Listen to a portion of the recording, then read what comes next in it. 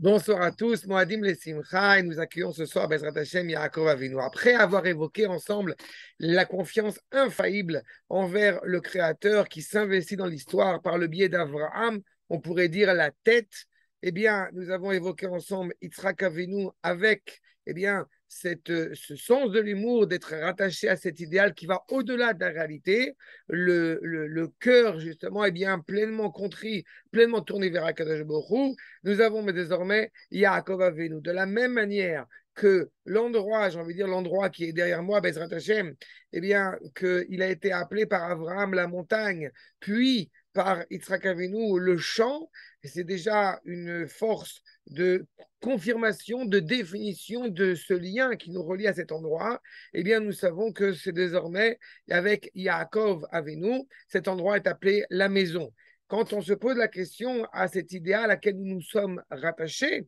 on peut se demander si effectivement cet idéal peut rentrer dans la dimension concrète. Eh bien, je crois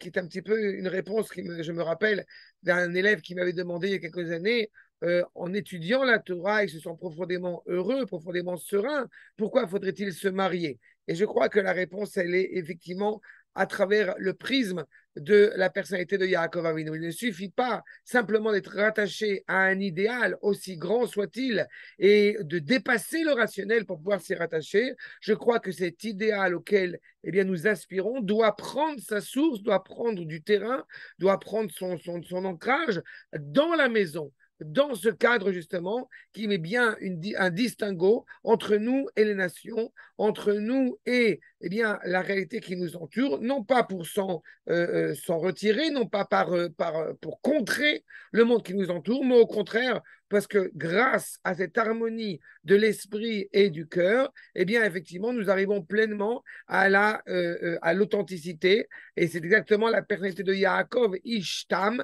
un homme complet, sans aucune contradiction entre l'intérieur et l'extérieur. Ce n'est pas un hasard si, entre Rosh Hashanah et Yom Kippourim, nous enseigne les Rachamim, que ces deux fêtes sont attachées à Abraham et Yitzhak, et que justement, Sukkot, c'est le premier qui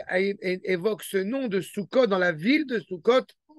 juste à côté du lac de Tibériade. Euh, c'est justement la ville, la, fête de Sukkot est rattachée clairement à Yaakov Avinu, qui est complètement entouré de sainteté. Dans cette visualisation concrète de la sainteté qui s'inscrit encore une fois sur notre terre. Et c'est grâce à cette identité affirmée que nous n'avons aucun doute que malgré les déboires que nous avons pu traverser. Et surtout, il y a nous qui se verra confronté eh bien, à descendre en Égypte. On est certain que cette identité est préservée, ainsi que nous, ainsi que nous enseigne Yaakov ne peut pas mourir parce que sa descendance est éternelle. Yaakov Avinu avec toutes les complexités, eh bien, est le père de la nation le Père de la Nation qui a un cadre bien défini, bien encadré au sein de la sainteté, ainsi que nous souhaitons à chacun d'entre nous que notre maison soit ce lieu de résidence divine, euh, un petit lieu de résidence divine et qui nous permettra, Bezrat Hashem, eh bien, d'assurer la pérennité des générations à venir jusqu'à l'avènement eh euh, du Mashiach, Bezrat Hashem, bien très prochainement, en notre temps, nous l'espérons tous. Moadim Simcha.